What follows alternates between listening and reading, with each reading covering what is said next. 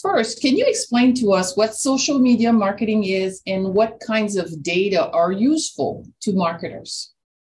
Sure. Thanks for having me. Really appreciate it. And social media marketing really started as an organic channel to engage people, to put yourself out there, to for a brand specifically to be a little bit more human. And when social media was born, it very much was this like, okay, this is the chance for that tone to really come through, to engage, to be human. And it's grown into what I use it for is a full funnel marketing channel. And by full funnel, I mean top of the funnel is a lot of the brand building work, as we would call it. But up at the top of the funnel, that's where we're talking about that TV work, think Super Bowl spots, those things that really put the brand first and the brand out there so that you feel like it's a brand for me. And when I say bottom funnel or lower funnel, I mean the things that you can click on right here from Instagram and you can say, buy these sneakers right now.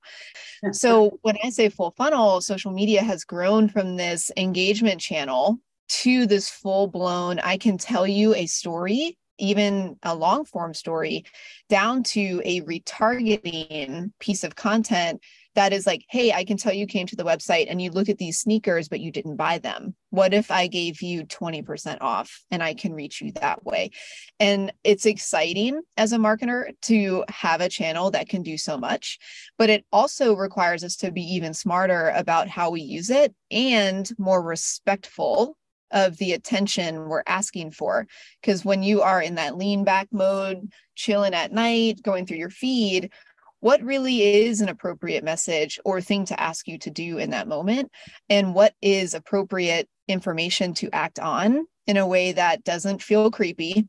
That is a word that we use a lot in marketing when it comes to targeting and in a way that feels respectful of the medium that you're using and that mindset that you're in um, to get to your second question, the type of information that's helpful, honestly, is candid, unfiltered reactions to things. And I'll start there because, yes, information on demographics or psychographics, psychographics being like lifestyles, interests, behavior, um, about geography, regional. If you are a regional brand or you need to heavy up, as we would call it, in an area where maybe people don't know as much about you or don't know you for a certain thing, then it's nice to have those types of triggers available for us to then target media against. Really is that two-way street. We are putting something out there and we can get immediately immediate feedback in the comments. We can get it through um, sentiment.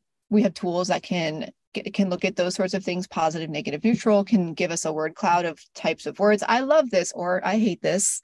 The hating is equally as helpful for us. And that's really the most helpful information at least for advertisers to say are we what we're putting out into the world is it relevant? Yeah sentiment is mood. It's an idea of positive, negative, or neutral feelings towards something, and how with social data, we have tools that use machine learning and sentiment analysis to try to pick up on cues that, like, I love this would be positive, I hate this would be negative but there's also a lot of in between where computers are getting better. They're still not good at sarcasm but are getting better at picking up the emotions that are in people's words and even images these days. And then that's how they calculate sentiment. Thank you. So last few years have been incredible as it relates to user data collection. I mean, we know since 2003, we have never collected this much data in the history of all marketing and advertising, right? So, you know, within these last two years, what are the benefits of consumers kind of having an online targeted experience or personalized versus them not doing anything and the company not knowing anything about them. So, what are the benefits of personalization and consumers actually providing data that would benefit them? A, a, definitely a huge benefit is you just have a better experience when the content you're receiving is relevant. If, even if it is ads and it's sponsored content that's appearing in your feeds, because it's relevant to what you're also doing in that moment or looking at, it is just a better experience for you to then say, oh, hey, maybe I could find value if I were to check this out and click on this link. Um, the other thing, too, is a value of personalization is help me get to what kind of sneakers I need faster. a lot of times with some of those signals that we talked about, the kind of data that can come back to us, likes, interests, who you follow, the types of things you engage with, can help a sneaker brand realize that I'm a runner. I'm not someone who does CrossFit. And the quicker I can get to shoes that feel right for me, the sooner I can get those shoes and I don't have to send them back because, oh, I really like the way those looked but they're not the right shoes for me. And then it it just elongates my experience with that brand.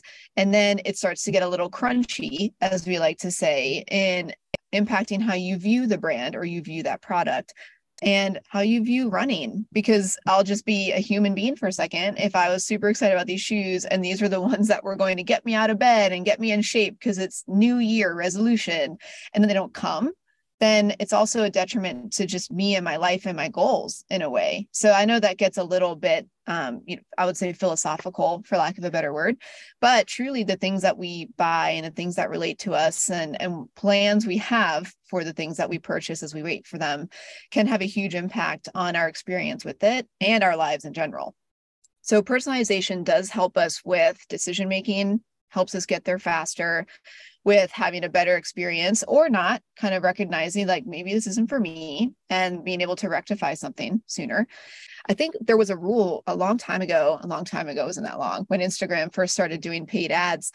And you could only see it was like one or two ads a day. Like that was actually what Insta- Instagram was gatekeeping how many ads. Now that's not the case today.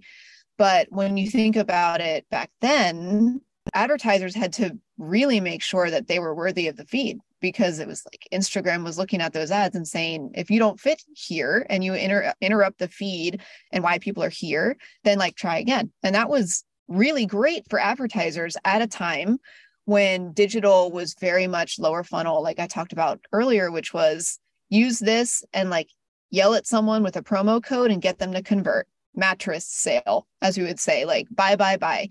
And social, I think, helped advertisers pull back out and say, if we're going to fit here, this is actually more like a story medium. And we need to think about that first before we go in there and we start knocking on doors and selling vacuum cleaners. So I really appreciate what social did for this industry because it helped us get back to storytelling. So, Lauren, I think you've convinced me there are lots of benefits, but uh, in the spirit of the yin and the yang, I have to ask the question about you know what do companies like you know apple google amazon and all these others who do collect a lot of information how have they recently provided consumers with maybe more control over their information and their information privacy? Yeah that's a great question. With with all of the good of social there certainly is a lot of that that bad that can come if you're not aware of what's being collected or if brands aren't being ethical or decent about what they're collecting and how they're using it. And i'll i'll pick out pick out apple first because what they've done is they have doubled down on privacy as a value so much so that they've put money into like super bowl-esque commercials to communicate that to us. And how they are doing that is not just telling us hey it's on you you know to watch what you're giving and oh we all just say oh new terms and and conditions accept move on.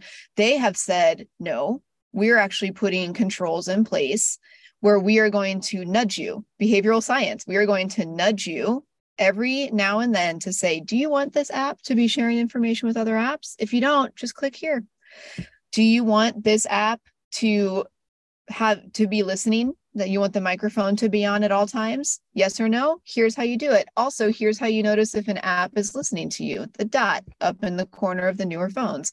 So, what Apple has done is they've not only made it a value and communicated that they are walking the walk in how they have designed technology solutions to remove temptations, to help us turn things off, to help us take that beat. So that's how Apple has done a really good job. And then some of the other social networks as well, and some of the brands have made a point to ask, you know, do you feel comfortable with what's being collected? Do you understand what is going on? And sometimes we listen and sometimes we don't. Um, but hopefully, just enough nudges can get us to take that beat and pay attention and it's nice when the ownership isn't 100% on us because we know if it's on us the the human beings it's not going to happen we're going to continue going about our day um, but if a brand can step up and give us that moment to just ask us then brands that are doing that are going to win in the next few years and you believe that there are going to be um, more and more companies um, kind of taking that approach I think so. And whether we know about it or not, I'm not sure. And and what I mean by that is I, I think a lot of companies are having their own reckoning of sorts and they're seeing what's happening with data breaches. They're seeing what's happening with marketing that's just like a little bit too like there's personalized and then there's intimate. And you're like, how did you know that? I don't know why I felt like I was just talking about this and now I'm getting ads for it. Like who's listening? So I do think that a lot of companies are if if they're smart are looking at their technology stacks, they're looking at their pixels that they've put on websites and what's being collected there because if you have a pixel that's collecting a form field, then where is that information being stored or hashed or how's it being transmitted? so we'll see if other brands step up and start communicating it. So yeah, it's it's I hope it's happening. And um, if brands aren't taking steps now, they're going to be the next ones in the headlines. What are your thoughts on the future in general? Communication, how consumers are going to be, knowing you know the way Gen Z is in terms of their views, or Gen Alpha coming up that they're more decision makers.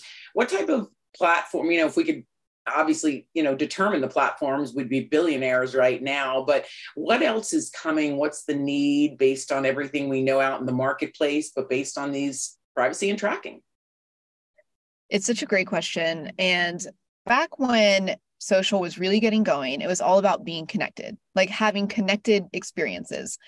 But what has been interesting is with all of the benefits that personalization can bring, it's also very isolating because you're having your very own experience and it makes it less talk worthy in the sense that you would see a commercial and then at the water cooler to be quick the water cooler you would talk about it. Hey did you see this?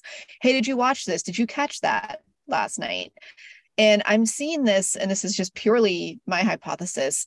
I'm i'm seeing that this idea of co-watching in the sense of these shows that we all seem to watch in the sense that since we're coming out of COVID, a lot of the streaming platforms are doing the episode by episode every Friday releases. They're not releasing the whole season all at once. And what that's doing, because I'm one of them, is hey, did you see it? No, I didn't see it. Don't tell me. I'm going to watch it tonight so we can talk about it tomorrow. So it is sort of bringing that like Friday night, everybody watches the same thing, or Sunday, you know everybody watches the same thing outside of just sports. It's bringing that back. And i think that we can use more of that connecting over these collective experiences. We just saw we all had it in covid. That was one version of it. But i think content and shows or podcasts or things that we could all look forward to together and consume together. Even commercials, I think in advertising, it's going to be a return to more broadcast, more of the storytelling kind of content that's more at the top of the funnel than at the bottom to get people to feel like they're part of a community again so it was just so interesting to to be on this ride with social where it's yes it's about connected experiences and your community but oh now it turns out maybe you've been a little too myopic in the one community that you chose or has been chosen for you by algorithms.